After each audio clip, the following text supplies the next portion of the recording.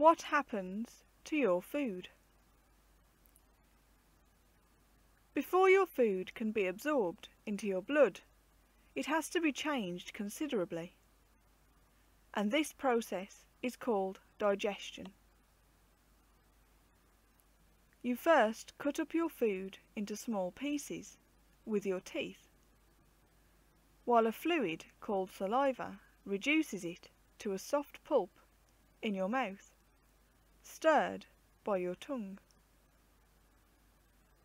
When it is ready to be swallowed, it passes down a soft, fleshy tube called the esophagus, which goes down in front of your spinal column to your stomach.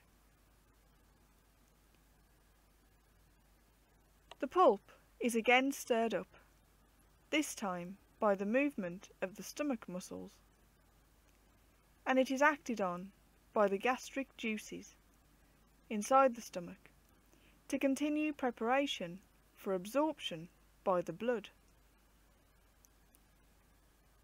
Some of the liquids in the pulp are absorbed through the walls of the stomach during this process and pass into the blood.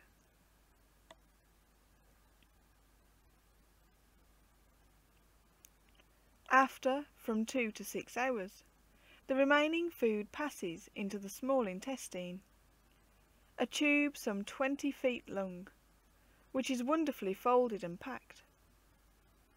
Here more fluids, coming from the liver and the pancreas, continue the digestive process, extracting the good from the food and passing it into your blood.